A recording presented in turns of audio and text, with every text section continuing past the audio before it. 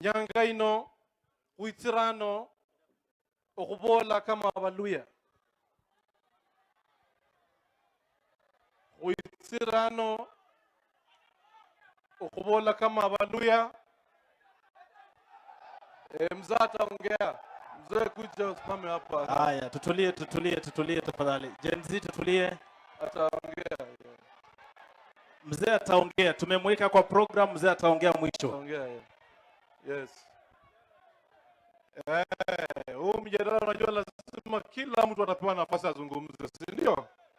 Hata mzee wetu atazungumza. Hapana befu. Esie nilikuwa waziri wa michezo katika taifa letu la Kenya. Leo vile nazungumza hapa, nilipewa kazi ya chairman ya Kenya Water Towers.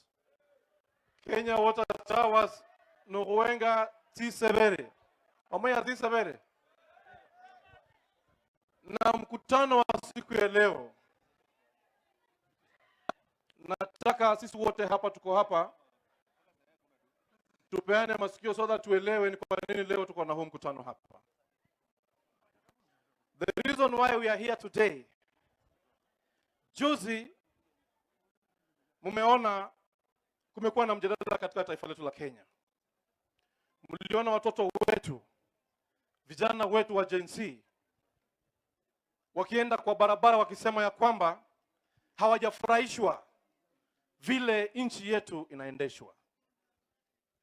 Na huo mjadala leo vile tunaongea hapa, mimi nataka nichukue fursa hii nishukuru sana vijana wetu wa Gen Z kwa sababu leo vile tunaongea hapa, at least hawa vijana wamefanya sisi viongozi tukajua ya kwamba power is illusion where one thinks that he has power when he doesn't have power.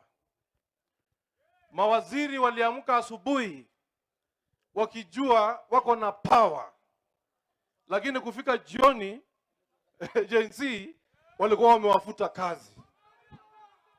Inspector General wa polisi aliamka asubuhi, barabara zote zimefungwa, akijua yeye ni mkubwa wa polisi, lakini kufika jioni Gen Z alikuwa amemfuta kazi, na hiyo inaonyesha ya kwamba power is with the people.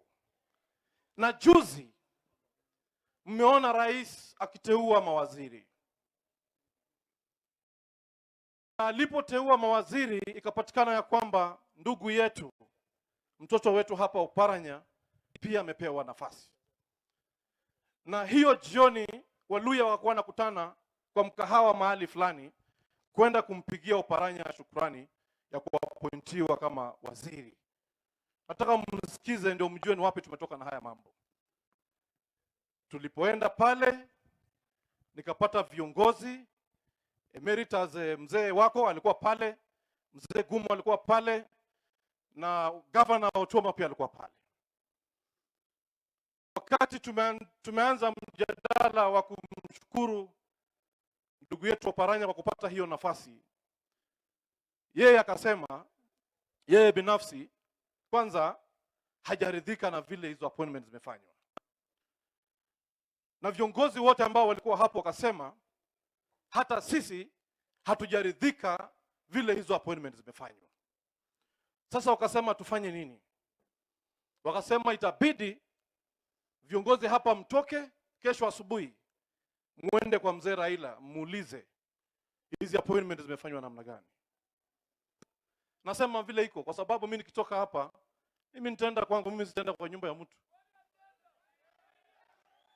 Tulitoka hapo tukakubaliana ya kwamba kesho yake asubuhi twende kwa boma la mzee Raila tuzungumze na yeye, tumuulize hizo appointment zilifanywa namna gani.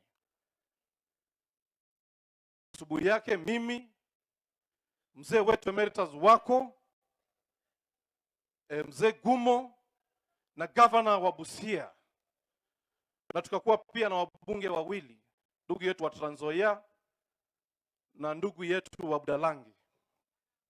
Tukaenda kwa mzee Raila, tukaenda pale tukakaribishwa na tukakuwa na mazungumzo. Na tukauliza mzee Raila, sisi tumetumwa hapa na jamii kwa sababu appointments zimefanywa, lakini tunaona kama kidogo tumedunishwa mahala fulani, kwa sababu Governor Emeritus uh, Oparanya ni deputy party leader wa ODM na hawa wengine ambao pia wameteuliwa na yeye, tuko na chairman pale wa ODM na tuko na lead of minority ambaye ni anaitwa nani, Opiyo Wandayi, lakini tunaona vile hizi ministries zimegawa hazijagaiwa vizuri, na mzee Raila akatuambia ya kwamba mimi I was not part and parcel to the people who sent the names at State House. Yeah? Na mimi sijaingia kwa serikali. Kwa hivyo kama watu wamepewa manafasi na hawajatosheka nazo, that is none of my business because I was not part and parcel to the people who presented those names at State House. So sisi kama wazee tukaelewa, tukasema hapa sasa e, wacha sisi turudishe ujumbe ambao tulipewa, na tukaenda tukakutana na ndugu yetu Paranya, tukamweleza vile tumeambiwa, na wazee wa waketi wakasema, sasa tumefika mahali tumefika, hatuna budi bali ni kuambia mtoto wetu hapa inyama niirwe nonyole nimalo khwirwa kanonyole shikumba notolaza wow so ndugu yetu emeritus akakubali asema ni sawa mimi naweza savu nchi hii kwa capacity yoyote na tukakubaliana ya kwamba achukue hiyo position ambayo alikuwa amepewa na mimi nataka niseme ya kwamba hiyo position ambayo ndugu yetu amepewa anaketi ka- katika baraza la mawaziri, na sisi tunamtakia mema, tunamwombea. Governor Emeritus Oparanya amekuwa waziri, has been a member of parliament, served two terms. He has been a governor, served two terms here. He has been a COG chairman. He has been even a minister. Huyo ni mtu ambaye ana experience kama mtoto wetu kutoka hapa, na sisi tunamwombea kila la heri. However, good people, if we are not careful, mambo vile yanapelekwa na siasa vile inaendeshwa hapa, mimi tulikuja hapa mwaka ambao umeisha during campaigns, mimi na ndugu yangu Kilofas Malala na ndugu yetu Musalia na Wetangula, na tukawaambia ya kwamba sisi tumeketi na Rais William Ruto na tumekubaliana ya kwamba kwa serikali ambayo anaenda kutengeneza tutakuwa na 30% share of that government, na wakatuambia ya kwamba wao wameshaandika mjadala na wamesha sign ya kwamba tukiform hii government tutakuwa na 30% share of this government. Ndugu zangu, nataka mnisikize kwa makini, mimi ni mtoto wenu. Nimesikia ndugu yangu Cleophas akisema hapa ya kwamba haimaanishi Musalia akipata prime minister, Wetangula akipata kiti ya speaker, Waluya wote wameshiba. Hapana, I have been a minister in this country and I know what it entails for community being in government. Sisi tulikuja hapa wakati ndugu zetu walituambia kwamba sasa tuko na 30%. Tukaanza kuongelesha ndugu zetu hapa nyumbani. Tulikuwa na fujo kubwa sana.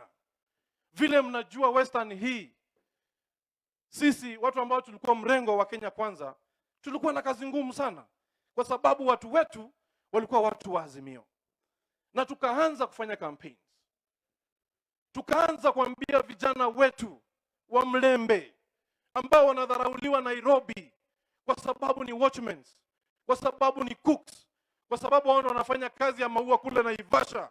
Tukawaambia, now this is the moment, mjitokeze, mtupigie kura, tuko na 30% share ya serikali. Mambo ya kushika rungu itakuwa mambo of the past, mambo ya kuwa cooks itakuwa mambo of the past, mambo ya kung'oa maua itakuwa mambo of the past. Na ndugu zetu watoto wetu wakatusikiza. Hapa Bungoma, serikali yetu ya Kenya Kwanza ilipata kura karibu mia mbili themanini. Hapa Kakamega, serikali yetu ya Kenya Kwanza ilipata kura elfu mia moja sitini. Hapa Vihiga, serikali ya Kenya Kwanza tukapata kura karibu elfu hamsini na kitu. Pale Busia tukapata kura zaidi ya elfu thelathini. Pale Trans Nzoia vile vile watoto wetu walijitokeza wakijua ya kwamba maisha yao inaenda kubadilika. Mimi nashukuru, lakini kuna changamoto, na rafiki mzuri ni yule anakuambia kwa macho ni nini haswa kinaumiza watu wake. Mimi nimepewa kiti ya Kenya chairman ya, ya Kenya Water Towers. Kenya Water Towers pale kazi yangu ni kuangalia vyanzo vya maji, mahali penye maji inaanzia tisebere bulangabure mluwanga. Ha? na mimi najua nikisema hapa nataka niseme so that pia wale watu mnanisukuma mkiniambia tulikubaliana what happened what changed? Tuliwapatia kura vile mlisema. Mbona saa hizi tunahangaika nataka msikize vizuri. Mimi nashukuru rais kunipatia hiyo nafasi kusavu wa kenya. However mikono zangu mimi zimefungwa. Kwa sababu kwa ile board mimi tunaketi mara sita kwa mwaka. Na kila tukiketi mimi am paid 54000 shillings per sitting times times six in a year and then mwisho wa mwezi napewa eh, stipend ya 54000 shillings. Ninyi mnanielewa vizuri? Na mimi nashukuru kwa hiyo kidogo ambayo nilipewa. Nataka niseme hapa ndugu zetu. Tunataka tuulize ndugu yetu msalia ndugu yetu wetangula ile 30% ambayo mlituambia. Juzi tumeajiri tumeajiri polisi elfu tano. Kila constituency ilikuwa inapewa watu sita. Ukipiga times 290 ni karibu elfu moja mia sita. Hizi nafasi zingine elfu mbili mia tano kwa share yetu ya 30% iko wapi? Jeshi vile vile. Kwa hivyo watoto wetu sisi tumekuja hapa kwa huu mjadala tulete watu wetu pamoja so that tukienda kuketi kwa ile meza ile meza isiketiwe na matapeli tuweze kuketi pale tupiganie haki za watu wetu. Kwa hivyo watoto wetu tumekuja hapa tuongee kama watoto wa mtu mmoja. Ndio ikifika 2027 tuwe tunaweza keti kwa ile meza tukiangaliana macho kwa macho tukiwa na heshima. Kwa hivyo mimi sitaki kunena kuzidi hapo. Ndugu yangu wetangue natembea. Mimi niko na wewe kwa hii mjadala. Na tutasukuma hii mjadala bila kurudi nyuma. Asanteni sana na mungu awasaidie Asante sana, tumpigie makofi.